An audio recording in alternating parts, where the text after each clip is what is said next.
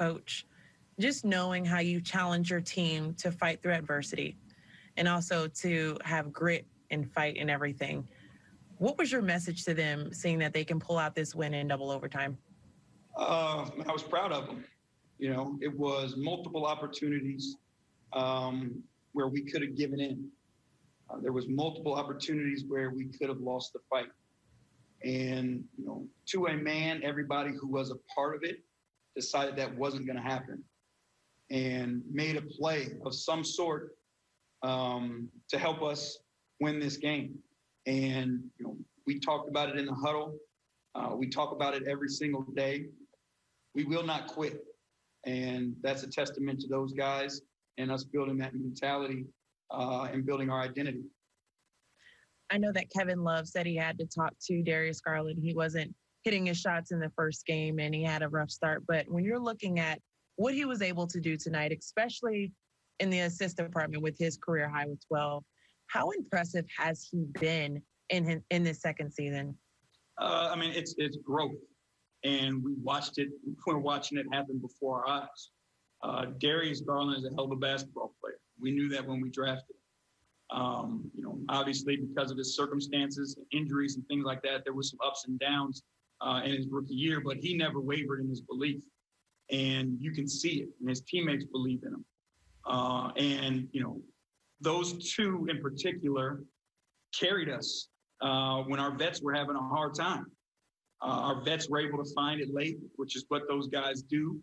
But in the meantime, our two young guards did a hell of a job carrying us uh, and putting us in position to win. Joe G.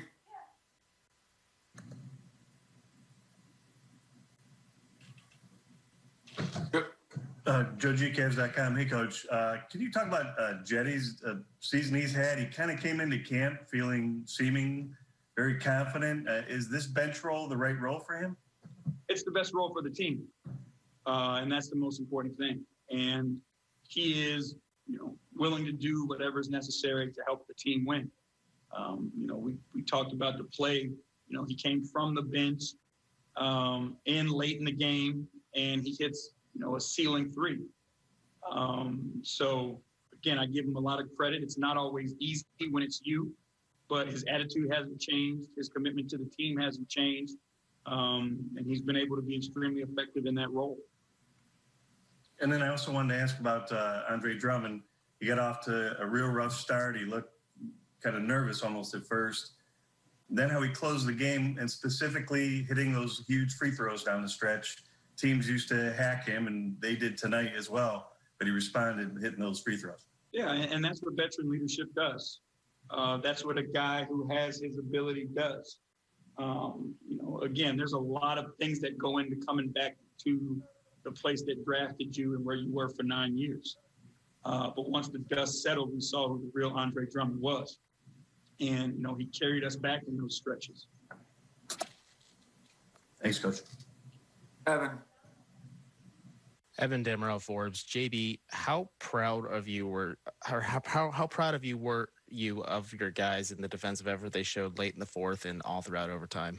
Uh, I mean, it was awesome. I mean, you know, we do all these drills every single day. We put in all these schemes. Um, but if guys don't go out and get the job done, none of it matters. And these guys, you know, have committed to it. Um, you know, defensively, our guards were really good. They got into the ball. Uh, they were pressuring their guards, forcing them into tough plays and tough shots. Um, you know, our bigs did a heck of a job protecting the rim and then rebounding the ball, uh, which helped start our break. So you don't win this game if you don't get stops. Uh, and we were able to get stops and get out and run uh, and get some easy baskets and put some pressure on them. And does the over, double overtime play any factor into possibly playing Kevin less tomorrow? Uh, he seems to be fine. Obviously, we'll, we'll see how he wakes up in the morning. Um, it was a lot more minutes than expected, to be honest with you. Uh, he held on and made some plays down the stretch and seems to be fine now. So uh, we'll have a conversation and see how he feels in the morning.